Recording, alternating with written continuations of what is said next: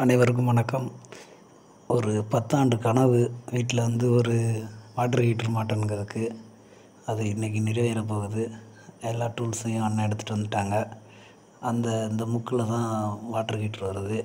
அந்த பைப்பு இப்படி வந்து கீழே இறங்கி இதில் வந்து வெந்நீர் பைப் வரும். அதுக்கு கரண்ட் வந்து இங்கேருந்து வேண்டாம். வெளியில் சுவிட்ச் வச்சுருங்கன்னு சொல்லியிருக்கேன். ஏன்னா ஈரக்கையோட நம்ம போட்டுறக்கூடாதுங்கிறதுக்காக இந்த இடத்துல இந்த வாஷிங் மிஷின் இருக்குல்ல அதுக்கு மேலே சுவிட்ச் வருது. அண்ணன் இந்த அண்ணன் பேர் முத்துக்குமார். தண்ணி பைப் கனெக்ஷன் வெளியிலேருந்து இழுப்பதற்காக சுவரிலே ஓட்டை போடுறாங்க. இதுதான் வெளிப்பக்க சுவர். இங்கேருந்து தான் தண்ணி கனெக்ஷன் எடுக்கணும்.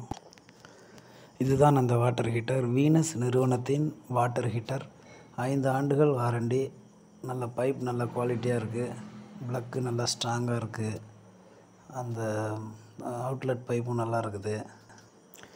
ஜாய்தனமும் ஜோசியும் அந்த வாட்டர் ஹீட்டரை பார்க்குறாங்க. வெந்நீர் வரக்கூடிய பைப் வந்து கன்சல்ட்டாக போட முடியல. அதனால் கட் அடிக்கிறாங்க.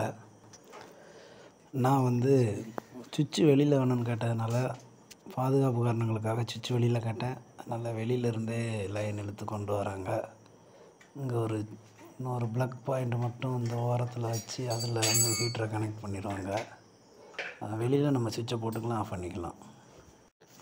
சுவிட்ச் இன்ஸ்டாலேஷன் பணிகள் நடக்கு. ஒயரிங் பணிகள் ஓரளவுக்கு நிறைவடைந்து விட்டது. ஒயர் அங்கேருந்து கொண்டு போய் அங்கே விட்டுட்டாங்க. வெளியிலிருந்து நீர் கொண்டு வர்றதுக்காக அமைப்பு.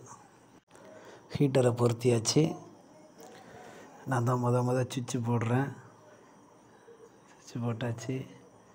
இங்கே உள்ள லைட் எரியுது. ப்ளூ கலர் லைட் எரியுது. குளிக்கலாம். இப்படி ரெட் கலர் லைட் எரிஞ்சிருச்சுன்னா ஃபுல் ஹீட் ஆயிடுச்சுன்னு அர்த்தம். இப்போ தண்ணியை திறந்து ஓப்பன் பண்ணி பார்க்கலாம். ஆ சிடுது.